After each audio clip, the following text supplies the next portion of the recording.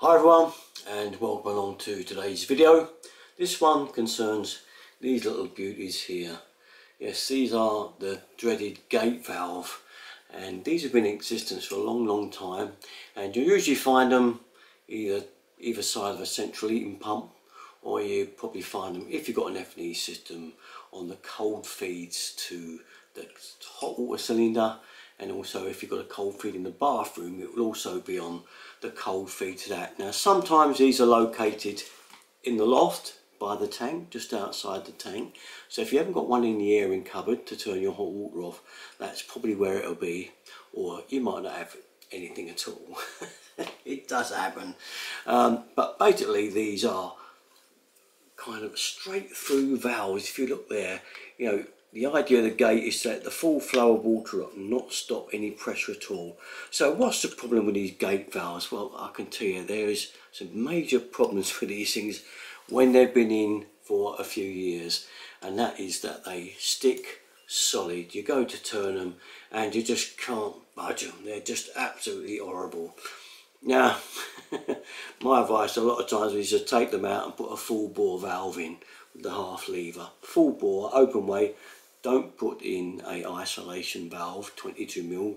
They must be avoided at all costs. But anyway if you don't want to do that and you get this going um, you're really gonna have to try and move it a tiny bit either way at a time until it moves more and more and gradually starts opening the gate that's there. If I turn the gate this is a new valve you can see the gate closing there. So what you're trying to do is get that gate to close down all the way till it's shut off and say once they are stiff and gone solid because they get like corroded behind them and then they stop working. Now another little thing to to avoid as well is is if you open it full up like that and then go to turn it a little bit later it'll be solid. Whenever you've opened it back on like so turn it back just a little bit and it will kind of stop it from sticking.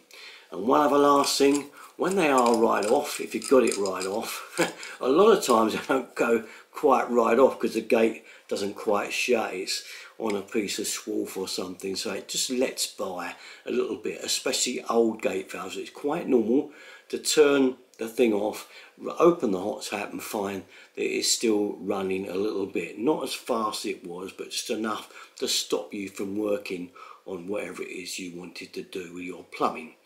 And one last, last, last thing, we get there in the end. If it's right off, you've got it right off and you've used grips to get it off, then you could be in major trouble because when you got to turn it on, especially if you use grips, what happens sometimes is you turn it and the head will move like this, but the body, the actual paddle goes up and down, uh, will remain where it is. Uh, so that you keep turning, uh, instead of it opening like it is there, see the gate opening? That will not happen. The gate will remain shut firmly because you gripped it off hard with a pair of grips and it snapped the connection between the threaded part and the actual plunger that goes up and down. So that's one to be very very careful of with gate valves. It's happened to a lot of people and when it does it means the whole system's got to be drained down somehow. Uh, and the only way you can do that is usually put a hose in the roof tank and empty it out because you can't get it out of the valve because it's locked off. So you can't put a hose on the cylinder and drain a bit out can you? Because it's locked off solid there. So or the other way is to put a bung in the cold feed up there and then try and undo the top nut on this valve so you can pull the pipe out and empty it maybe into a bowl. So it's just that bit of pipe that drops from the tank and then put another valve on. Well I wouldn't suggest putting one of these on I say. Put the full bore lever taps on uh, the quarter turn ones with the red or the blue lever and uh, you won't get any bother. These things are almost as lethal as isolation valves.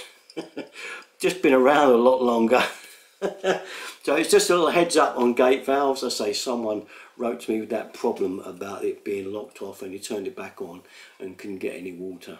What's happened? And that's the explanation. Okay, that's about it though. All my stuff, you know where to go. Usual place. Dereton 33. Catch you next time, guys. Bye-bye.